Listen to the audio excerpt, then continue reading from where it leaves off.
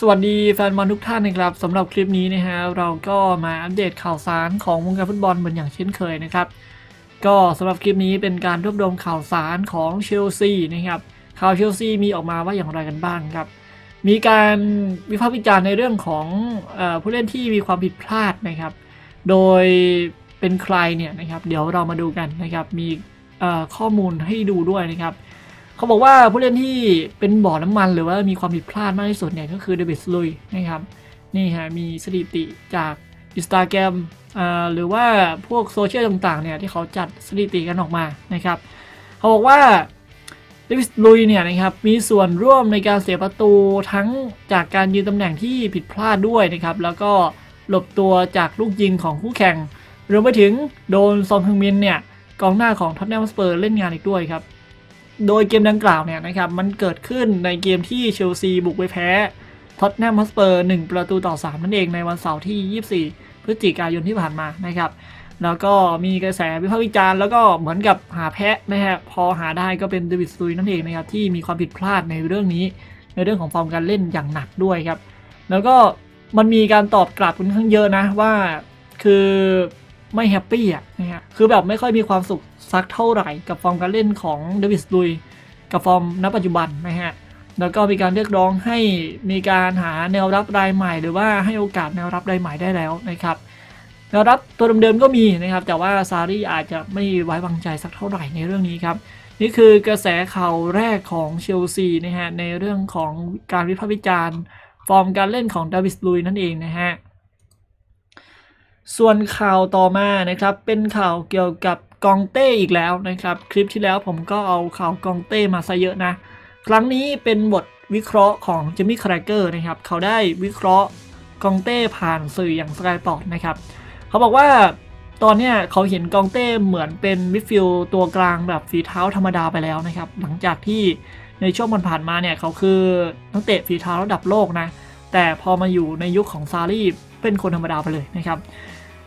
คาร์ราเกอร์บอกว่าน่าเสียดายครับที่ต้องบอกว่าตอนนี้กองเต้มีฟอร์มการเล่นที่ธรรมดาธรรมดามากนะครับหลังจากที่ถูกเมาริซิโอซารี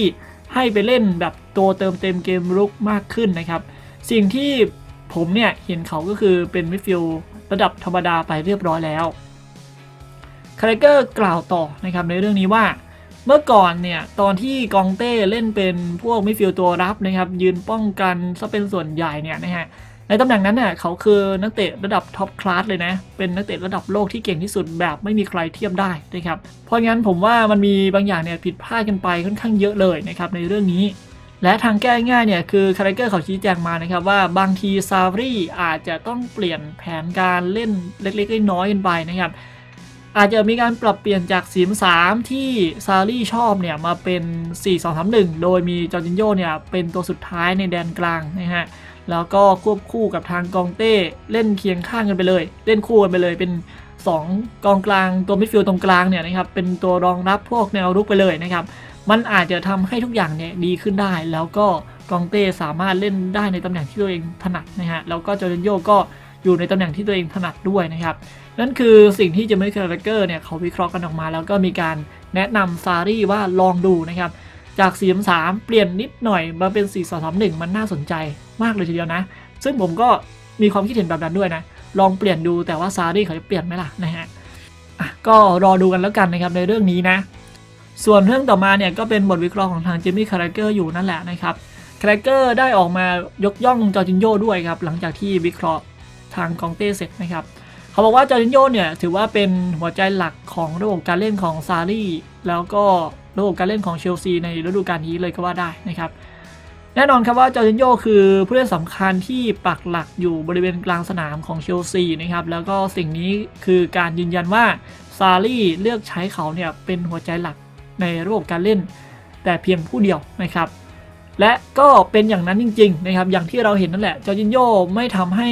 ทางซารีผิดหวังแต่อย่างใดนะครับเขามีฟอร์มการเล่นที่ยอดเยี่ยมครับเขามีความสามารถในการเปลี่ยนเกม จังหวะเกม แล้วก็สไตล์การบุกด้วยการ counter attack นะครับได้อย่างมีประสิทธิภาพด้วยนะครับบางทีเนี่ยมันก็น่าสนนะ เราก็อยากรู้นะว่าถ้าเกิดจอร์จินโยเนี่ยถูกจับหรือว่าถูกขยับขึ้นไปสูงอีกนิดหนึ่งเนี่ย ให้เหมือนกับตำแหน่งของเดเล่อัลลีหรือว่าทางซิกูร์ดส์สันหรือว่าฮวนมาต้าของแมนยู มันจะมีผลงานออกมาดีมากกว่านี้ขนาดไหนนะครับแล้วเผลอๆเนี่ยจอร์จินโยอาจจะใช้คุณภาพของตัวเองช่วยยกระดับการเล่นให้กับคนอื่นบนพื้นที่ริมเส้นอย่างอาซาร์วิลเลียน หรือว่าฟูลแบ็กสองข้างให้ดีกว่าเดิมก็มีความเป็นไปได้ นั่นคือบทวิเคราะห์ของทางเจอร์มี่คาร์เกอร์นะครับที่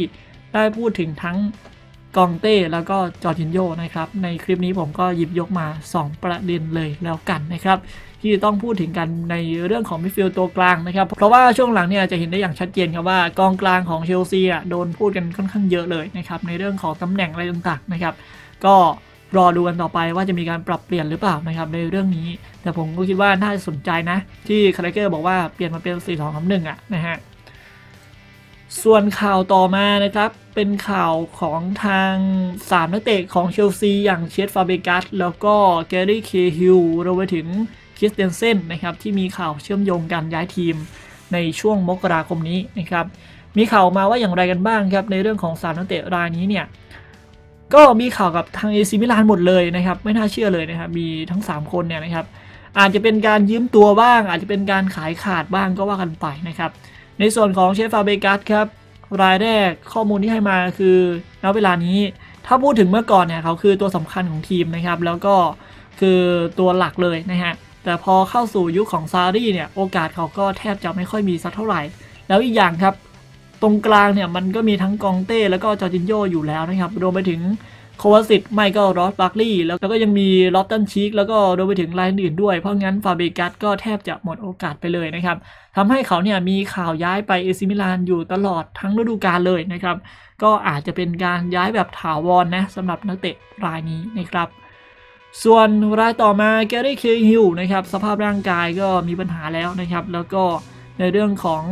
ความอืดอะไรก็เห็นได้อย่างชัดเจนครับ เพราะว่าเข้าวัย32 ปีแล้วกรำศึกมาค่อนข้างมากพอสมควร ตั้งแต่ยุคก่อนๆแล้วนะครับ แล้วก็ยุคนี้เห็นได้อย่างชัดเจนครับ ตัวเลือกแรกก็เป็นรูดิเกอร์แล้วก็ดาวิดลุยส์เป็นส่วนใหญ่นะครับ เพราะงั้นแกรี่เคฮิลก็น่าจะโดนโละในเร็วๆนี้นั่นแหละในช่วงมกราคม ก็เป็นเอซีมิลานอีกนั่นแหละที่ให้ความสนใจนะครับ ส่วนรายสุดท้ายนะครับก็เป็นคริสเตียนเซน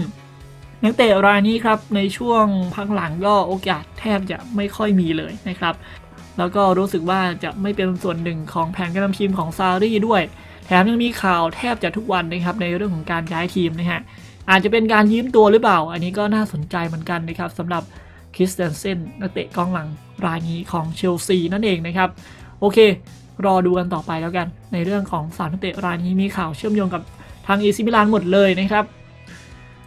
ข่าวต่อมาครับเป็นข่าวกอสิบที่ออกมาเกี่ยวกับคริสเตียนพูสิตนะครับตามรายงานออกมาเขาบอกว่าโบรุสเซียดอร์ทมุนด์ได้กำหนดค่าตัวของคริสเตียนพูลิซิชเป้าหมายของเชลซีลิเวอร์พูลอาร์เซนอลเอาไว้แล้วนะครับอยู่ที่ 70 ล้านปอนด์นะครับแต่ว่าตามรายงานเขาบอกว่าเชลซีเขาก็รอดูก่อนนะครับว่าเอเดนอาซาร์เนี่ยจะเอาอย่างไรนะครับจะอยู่กับทีมต่อไปหรือเปล่า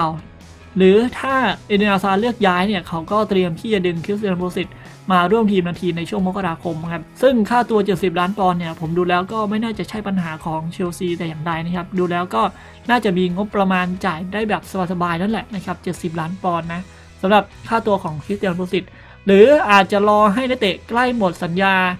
มันก็ได้นะครับ แต่ว่าอย่าลืมนะครับว่าเชลซีไม่ใช่ทีมเดียวนะ ให้ความสนใจนะ นอกจากทีมชั้นนำในพรีเมียร์ลีกอังกฤษแล้วเนี่ย มันยังมีทีมชั้นนำจากลีกสเปน จากเยอรมันอย่างบาเยิร์นมิวนิกรวมไปถึงเปแอสเชด้วยนะ อย่าลืมเรื่องนี้ด้วยนะครับ เพราะงั้นมันไม่ใช่เรื่องง่ายเลยนะครับ ถ้ายื่นซื้อได้แล้วก็ได้นักเตะที่อายุน้อยมีคุณภาพแบบนี้ ซื้อได้ก็ซื้อไปก่อนเลยดีกว่านะฮะสำหรับผมผมคิดว่าอย่างนั้นนะ แต่สำหรับแฟนบอลเชลซีคิดอย่างไรก็ลองคอมเมนต์กันเข้ามาดูแล้วกันนะครับในเรื่องของคริสเตียนพูสิตนะฮะ แล้วก็ข่าวต่อมาเนี่ยนะครับเกี่ยวกับในเรื่องของบากาโยโก้นะครับมีข่าวออกมานะว่าบากาโยโก้เนี่ยรู้สึกว่าฟอร์มการเล่นจับไม่ไหวแล้วนะครับแล้วก็ทางเอซีมิลานเนี่ยเตรียมที่จะปล่อยตัวเขาเนี่ยกลับมาในช่วงมกราคม ถึงแม้ว่าก่อนหน้านั้นคือข่าวมันเสียออกไปแล้วนะครับว่าเอซีมิลานยังใช้บากาโยโก้ต่อไป แล้วก็นักเตะก็อยากอยู่กับทีมต่อไปด้วยนะฮะ แล้วก็มีความมุ่งมั่นที่จะให้บากาโยโก้กลับมาฟอร์มที่ร้อนแรงอีกครั้ง แต่ว่าตอนนี้มันเข็นไม่ขึ้นแล้วนะครับ แล้วทุกคนเนี่ยก็น่าจะได้เห็นฟอร์มการเล่นของบากาโยโก้กับเอซีมิลานในฤดูกาลนี้ไปมากพอแล้วนะครับ แล้วรวมไปถึงออปชั่นซื้อขาดที่ทางเอซีมิลานแล้วก็เชลซีคุยกันไว้เนี่ยก็น่าจะไม่ทำแน่นอนนะครับ เพราะว่าผลงานโดยรวมมันไม่ดีนะครับ ไม่รู้ว่าจะเซ็นไปทำไมอะไรประมาณนั้นครับ ก็ น่าจะเข้าใจกันดีครับในเรื่องของผลงานอาจจะมีการส่งตัวกลับเร็วๆนี้ก็มีความเป็นไปได้นะครับ เพราะว่ามันไม่ถูกใจแล้วอะนะส่วนข่าวสุดท้ายนะครับของทางเชลซีที่ได้หยิบยกกันเข้ามาครับเดลซันนะครับสื่อยอมแฉเนี่ยเขาได้จัดในเรื่องของระบบการเล่นแบบใหม่ของทางเชลซีขึ้นมานะครับก็อันนี้ผมเอามาฝากแล้วกันนะครับ เป็นข่าวทิ้งท้ายนะพอดีเปิดไปเห็นพอดีนะครับนี่ฮะก็ผู้สาประตู เป็นเกปามาในระบบ 4-2-3-1 เลย อย่างที่เจมี่คาร์ราเกอร์เขาคุยไว้นะครับ ก็อันนี้เขาไม่ได้อ้างอิงในเรื่องของระบบการเล่นของเจมี่คาร์ราเกอร์นะ คือเดอะซันเขาคาดการณ์กันไปเรื่อยนั่นแหละนะครับ แต่ละสื่อเขาคาดการณ์ระบบการเล่นไม่เหมือนกันนะครับ ด้านขวาเป็นอัซปิลิกวยต้านะครับเซนเตอร์เป็น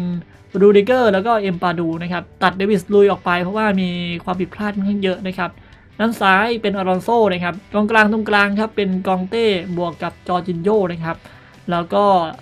ริมเส้นฝั่งขวาเป็นฮัดสัน-โอดอยนะครับ แล้วก็มิดฟิลด์ตัวรุกเนี่ยเป็นรอสบาร์คลีย์ะครับริมเส้นฝั่งซ้ายเป็นเอเด็นอาซาร์แล้วก็หน้าเป้าเป็นลอฟตัส-ชีกโอ้โห สุดยอดเลยฮะลอฟตัส-ชีกโดนดันมาเป็นหน้าเป้า เพราะว่ากองหน้าเชลซีณปัจจุบันเนี่ยก็รู้ๆกันดีครับมีปัญหาอย่างต่อเนื่อง ในเรื่องของชิรูด์เอยก็ฟอร์มยังไม่เข้าฝักนะครับ ในเรื่องในเรื่องของอัลบาโร่ โมราต้าเอยก็ ดูเหมือนจะดีนะ ช่วงหนึ่งก็กลับมาเป็นเหมือนเดิมอีกแล้วนะครับ ก็ผลงานไม่ค่อยดีเอาซะเลยนะครับ แล้วก็มีข่าวเชื่อมโยงการย้ายทีมด้วยครับสำหรับอัลวาโดมอต้าแล้วก็ชิรูนะครับ รวมไปถึงเชลซีเขาก็มีข่าวว่าเตรียมหากองหน้ารายใหม่ด้วยครับ ก็บวกกันเข้าไปแล้วกันในเรื่องนี้ โอเคก็หมดแล้วนะครับสำหรับข่าวเชลซีที่ได้หยิบยกกันเข้ามาครับสำหรับคลิปนี้ก็มีเพียงเท่านี้แล้วกัน เอาไว้เจอกันคลิปหน้าครับ ใครชอบก็ฝากกดไลค์กดแชร์กดติดตาม กันด้วยแล้วกันนะครับ ผมไว้เจอกันคลิปหน้าครับ คนมากครับ แล้วเจอกันนะครับ